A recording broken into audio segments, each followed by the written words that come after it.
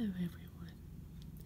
This is Southern Belle Whisper, and I am so glad that you decided to join me in my first coffee in book review video. Um, as you guys know, I am a huge think I should called myself Bookworm Whisper when I made my video, but at the time I just wanted to make a channel. I didn't really care what I called myself.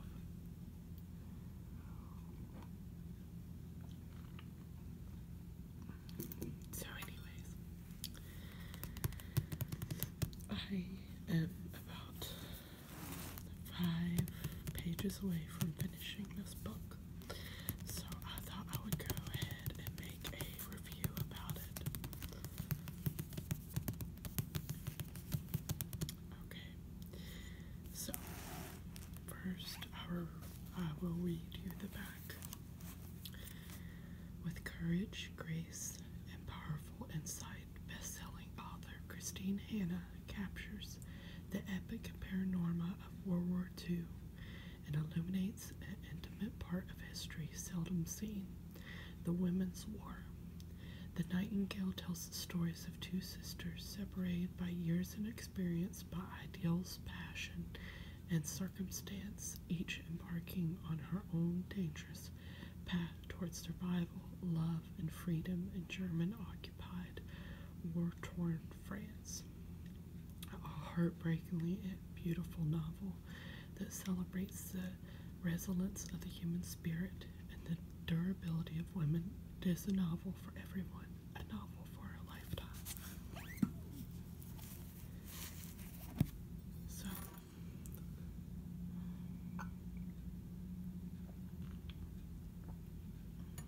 I had a lot of people recommend this book to me.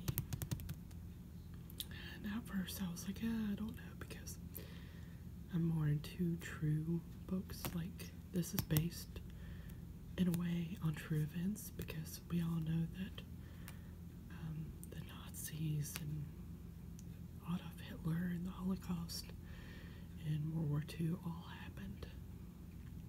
So, in a way, it was true. It was just based on fictional characters.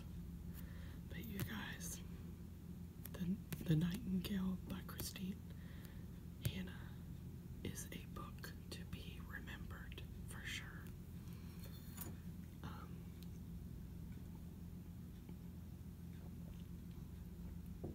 the book really starts off with um, two sisters. Um, one is named Isabel, and she's like a very daring girl that doesn't follow the rules. And at the beginning of the book, she is actually kicked out of like her fifth boarding school that she has attended. She's just very strong, strong-willed, and she doesn't go by the rules. And she believes in fighting, fighting for what's right. And then her sister is like the exact opposite. Her husband at the beginning gets um, signed in to fight in the war, and she has to stay home with their daughter, Sophie. And I don't want to tell much about what happens in the book because I don't want to ruin it.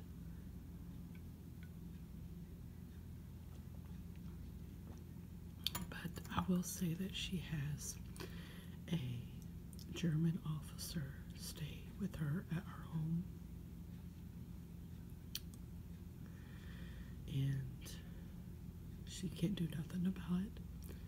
And she doesn't want to leave the home that she shares with her husband, so she decides to stay. And um, and then Isabel goes and finds a way to help and to pretty much fight and save people. And it's just there are two stories, and then there are parts in the book where they, where Isabel and Vianne, is the other sister's name, mm. are to, sorry, that's my stomach, are together in the same household.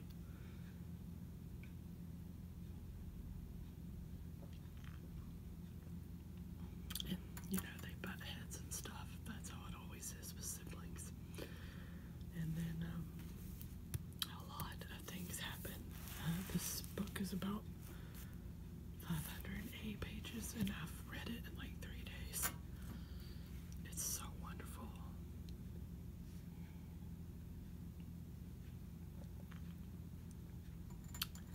What happened in the Holocaust and what happened with Adolf Hitler back in the 40s? Um, it's something that I've been interested in. Not in a, I mean, in a good way. It's just, you know how people are like those videos online where people talk about true crime and they make a video about it, and I, I love those as well. That's how the Holocaust was for me. When I was in fifth grade, I watched the video, um, the movie, The Diary of Anne Frank. And we had been talking about World War II, but I had no idea about the Holocaust yet. And at the beginning of the movie, I was like, okay, what's the big deal? Okay, what are they hiding from? And then as it got towards the end of the movie, I was like, oh, they're hiding from because they're Jews, you know, that they're they're supposed to be sent to concentration camps. And then at the end of the movie, when Anne Frank and her family and their friends get um, imprisoned in the war camp, and you find out that Anne Frank actually died, and her diary was left behind. Whew, that broke my heart so bad. I was the only person crying in that room that day at the end of that movie. Anne Frank is a huge inspiration for me to live my life to the fullest. And this book is kind of like that. That's why I love this book so, so much because it's about resilience, it's about bravery, um, um, heartbreak. Um, it's just, it's such a good book. And I definitely recommend it to anyone. Um, I thought it was going to be hard to read because usually books this long are hard to read, like Game of Thrones. I cannot even read that book. It's so confusing to me.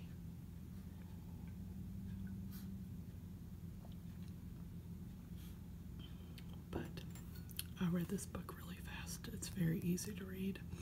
There are parts where they speak in German, but that ain't too bad. Or French. Yeah, French and German, actually. Oh, and they also live in France. So.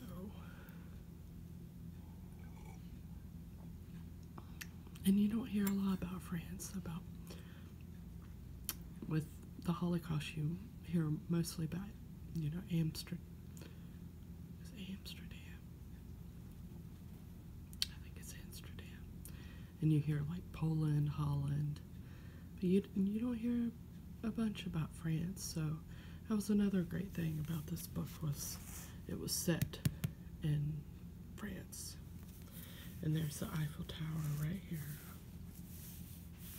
And there's like rain. It's just it's so beautiful. It's such a beautiful book. And look, it's gotten Best Historical Novel of the Year, People's Choice Favorite Fiction Winner, number one Indie Next Selection, BuzzFeed Best of the Year, the Wall Street Journal Best of the Year, and the Week Best of the Year.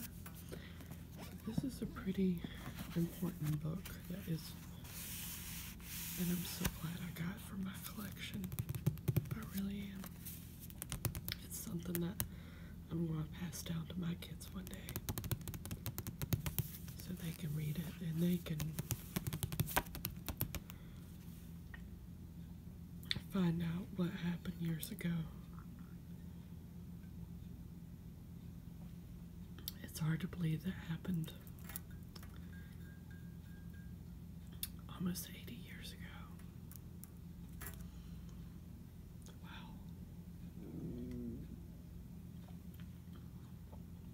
But yeah, definitely read this book if you are a book reader. I definitely recommend it.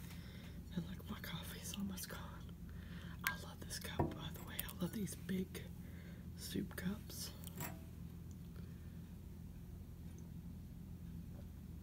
Alright, you guys. I hope you enjoyed this. And I will talk to you guys later. And just remember, it's The Christine